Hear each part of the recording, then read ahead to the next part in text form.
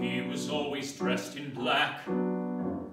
Long black jacket, broad black hat, sometimes a cape, and as thin and as thin as rubber tape, Black Max.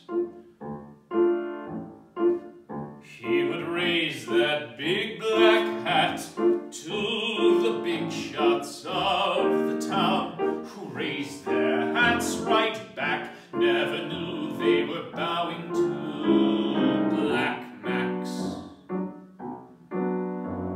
Talking about night in Rotterdam, when the right night people of all the town would find what they could in the night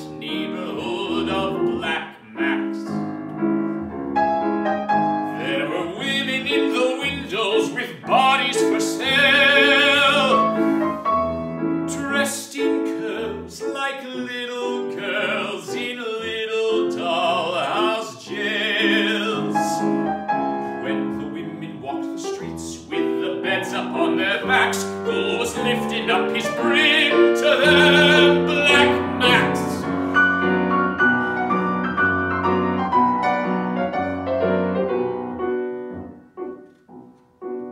And there were looks for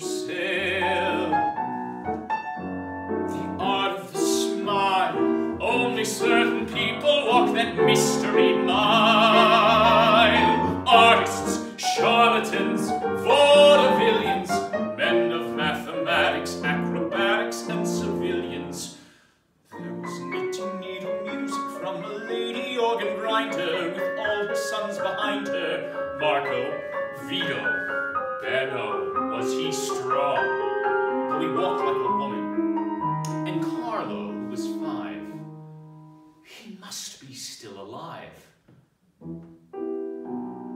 Ah, poor Marco had the syph. And if you didn't take that terrible cure in those days, you went crazy and died. And he did.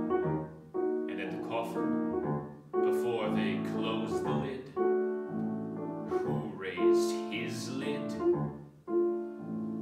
Black Max. I was climbing on the train one day going far away to the good old US of A. I heard some music underneath the tracks,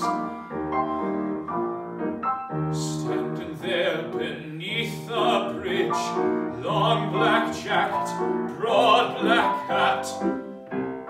Playing the harmonica, one hand free,